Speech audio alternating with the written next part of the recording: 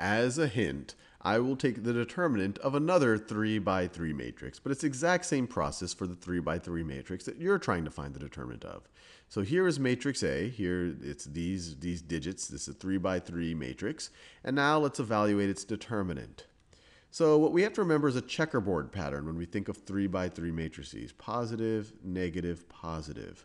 So first we're going to take positive or, or, or, or positive 1 times 4, so we could just write plus 4 times 4, the determinant of 4 submatrix. And what do you say? What's the submatrix? We'll get rid of the get rid of the column for that for that digit and the row, and then the submatrix is what's left over. So we want to take the determinant of its submatrix. So it's 5, 3, 0, 0.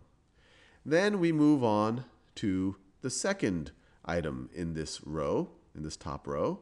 And but the checkerboard pattern says we're going to take the negative of it. So it's going to be negative of negative 1. Let me do that in a slightly different color. Of negative 1.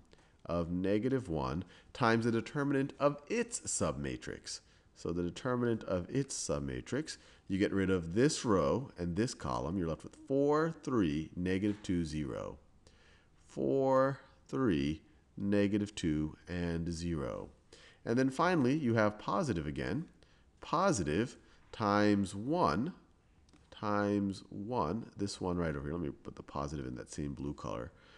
So positive 1, or plus, or plus 1, or positive 1 times 1, times 1. Really, the negative is where it got a little confusing on this middle term. But positive 1 times 1 times the, times the determinant of its submatrix. So its submatrix is this right over here. Get rid of the row, get rid of the column. 4, 5, negative 2, 0. 4, 5, negative 2, and 0. So now we just have to evaluate these 2 by 2 determinants.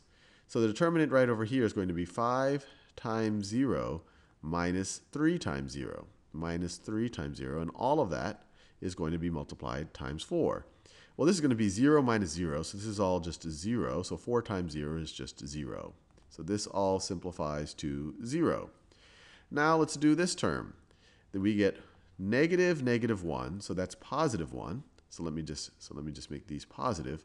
Positive 1, or we could just write plus. Let me just write it here. So positive 1 times 4 times 0 is 0. So 4 times 0 minus 3 times negative 2. 3 times negative 2 is negative 6.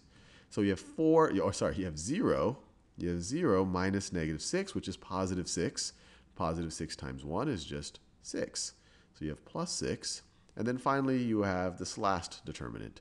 You have, so it's going to be plus 1 times 4 times 0, 4 times 0, minus 5 times negative 2. 5 times negative 2. So this is going to be equal to, it's just going to be equal to 1 times anything is just the same thing. 4 times 0 is 0. And then 5 times negative 2 is negative 10, but we're going to subtract a negative 10, so you get positive 10. So this just simplifies to 10, positive 10. So you're left with, let me be clear, this is 0, all of this simplifies to plus 6, and all of this simplifies to plus 10. And so you are left with, if you add these up, 6 plus 10 is equal to 16. So the trick here is to just make sure you remember the checkerboard pattern and you don't mess up with all of the negative numbers and all of the multiplying.